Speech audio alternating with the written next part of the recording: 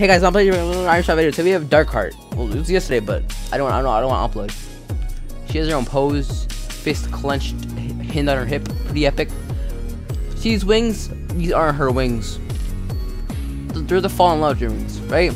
These are her wings. Big difference, right? Wow, Fortnite. As I said that, that's incredible. Completely different, man the lines. They're just straighter. The top, the top has like a different. Oh my god, Bewitching Blades. Um, Astra skin with the edit style. This could have been um, Starflare. Well, St Starfish should have been edit style. A Shining Star, Constellation Wrap, animated pretty good, I guess. I don't know. Burnout skin with the um wheelie back button. Here's the helmet, pretty cool. Peely pick.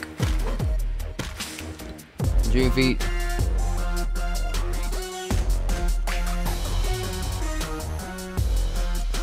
Chewing gum, so excuse me.